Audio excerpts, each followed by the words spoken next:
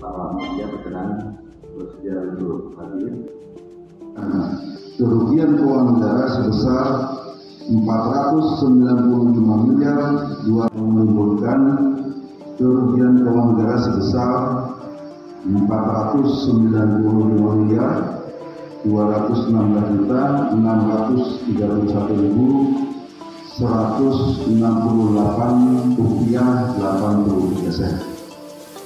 Ya, ulangi dalam dugaan tidak benar korupsi tersebut kita ini mungkin ada pertanyaan dari teman-teman Malaysia dengan surat nomor SR 1652 dari PW 20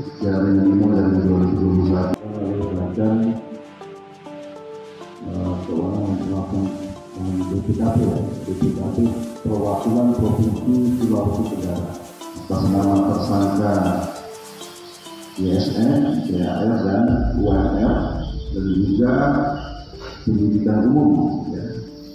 sebelumnya eh, dalam pendidikan khususnya atas nama WSO yang punya peradilan di Kabupaten Yakin tapi ketika kita tetap melakukan pendidikan ulang ini juga dimaklumi ada batasan-batasan yang mungkin nanti sebagai bagian dari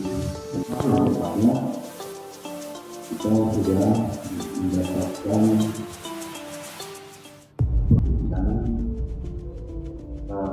nama Noda di mana tiga berkas atas nama umat kaitannya dengan progres perkembangan penanganan kasus progres tenaga tersebut eh, sudah ditetapkan empat orang tersangka itu bersama Terima kasih sudah nonton. Jangan lupa like, subscribe, dan share ya.